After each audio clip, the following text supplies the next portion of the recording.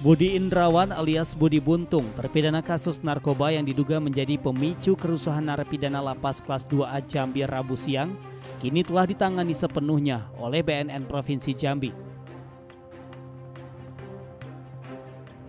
Budi Buntung menjalani masa penahanan BNNP untuk kepentingan penyelidikan kasus narkoba yang baru. Budi juga tidak akan dikembalikan ke lapas dalam waktu dekat hingga proses penyelidikan BNNP rampung. Kepala BNNP Brigjen Pol M. Toha Soeharto mengatakan, Budi Buntung berkemungkinan besar akan kembali ditetapkan menjadi tersangka dalam kasus yang baru. Dengan penyelidikan yang masih berjalan, Kepala BNNP juga meyakini akan ada hukuman tambahan untuk Budi Buntung. Kita kembalikan ke lapas, Mbak. Oh, kemungkinan tidak, kemungkinan tidak. Saya udah komitmen sama kepala. Saya belum ketemu ke Kanwil ya. Alasannya apa Pak? Alasan kuatnya tidak mau mengembalikan ke lapas. Ya nanti menghilangkan barang bukti.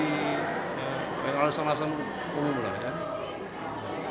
Bisa melarikan diri kan bisa aja. Sampai kapan mungkin di BNN dia, Pak? Ya sampai proses penyidikan selesai. Artinya udah tersangka lagi dia Pak. Mungkin tersangka. Kemungkinan ya. Tambahan hukumnya mungkin, Pak? Doli Maulana, Jambi TV.